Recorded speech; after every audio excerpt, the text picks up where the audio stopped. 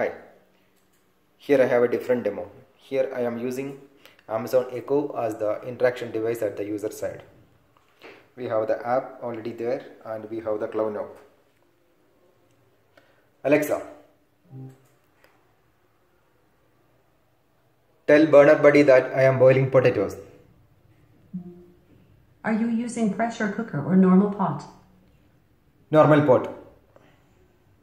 Based on your input, it will take 15 minutes to boil potatoes. Shall I remind you after 15 minutes? No, remind me after 25 seconds.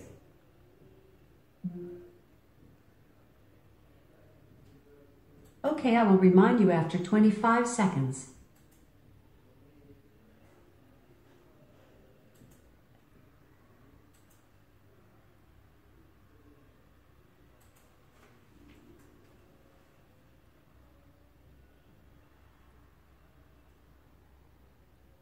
Potatoes is ready.